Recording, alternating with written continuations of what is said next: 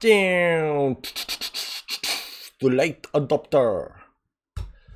Hi guys, welcome back to the channel. Welcome to a new video today. Again, doing Bitcoin. Uh, it's looking nice, doesn't it? Altcoins are looking even better. Don't you agree? Red all over the place. Minus 20%, 30%. Uh, I think there's like some extreme fear in the market. So let's look what's happening with the Bitcoin right now. Getting the charts and just start charting right away. Uh, what we're gonna do today is we're gonna look at uh, uh what's happened before and what we can expect uh, uh, from this dump over here, because it looks like it's a really severe dump.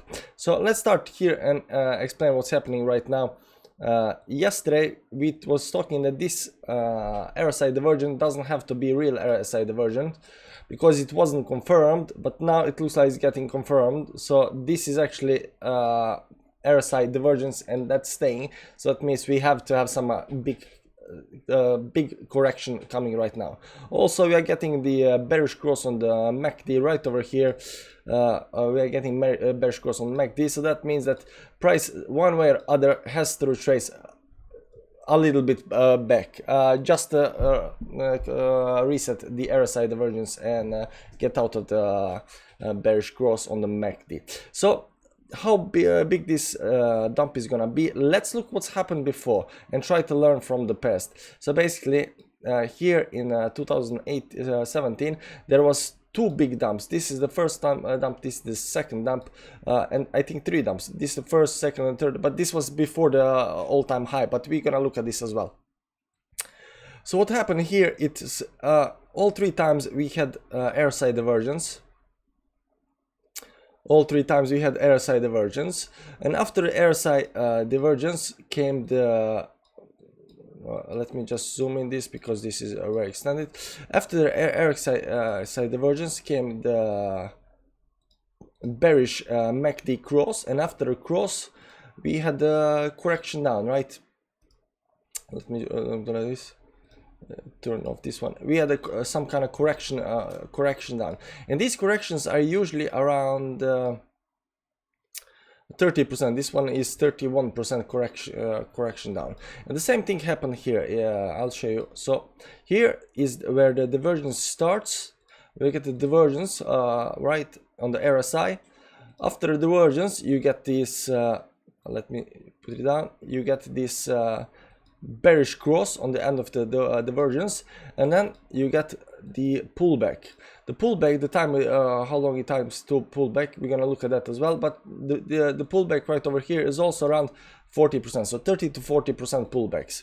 Uh, over here also divergence price going up the RSI is going down it's slightly going down uh, I don't know if you can see it but it is going down over, over here uh, and after the uh, that you get the bearish cross of course.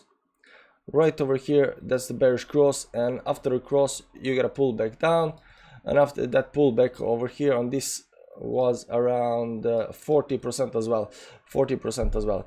Uh, uh, this looked like it's gonna uh, diverge but yeah you can call it divergence over here as well.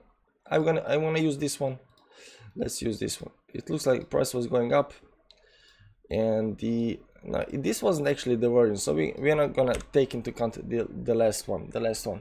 But we're gonna look at these three over here and uh, what I tell so basically they you uh, they last for how long do they last for? They last for this one lasted for 18 days. This on the daily chart. This one lasted for uh, for almost a month over month 34 days. And the last one it lasted for let, let me do this for two weeks. So between two weeks and uh, in a month's time that's what we can expect uh, uh, right now over here on the chart. So we can expect that this is gonna last between uh, uh 14 bars and uh, where is it? 30 bars over here. So you're gonna just put it like this sort of so that's the range we are that's the range we expect uh, this to actually end. You can just put like this so you can see it better.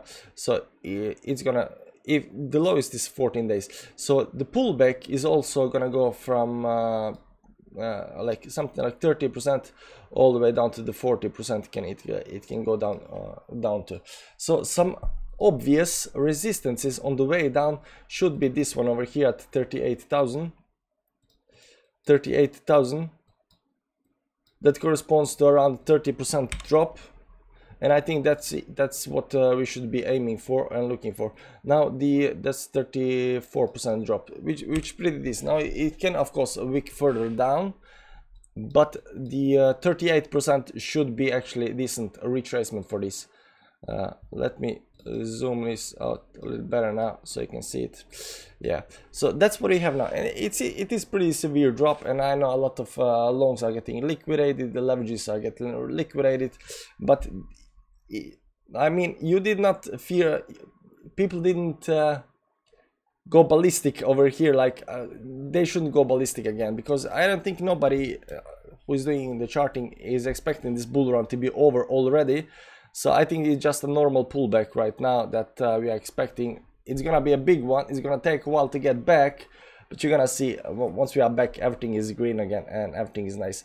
So use this opportunity to time in uh, when you're gonna buy some altcoins or something like that because uh, right now everything is like 25 27 30 percent down. Uh, it's gonna it's gonna get mad. It's gonna get mad. So good luck. Good luck to everybody hope you get through this uh, i know when you are in red it's hard to like not sell and stuff like that but you do it with your money what you want to do with your money i do with my money what i want to do with my money and that's about it that's about it. But it looks like it's a big one it looks like it's a big one. So have fun guys have fun. See you later today some altcoins i'm gonna see some red uh, support lines bye bye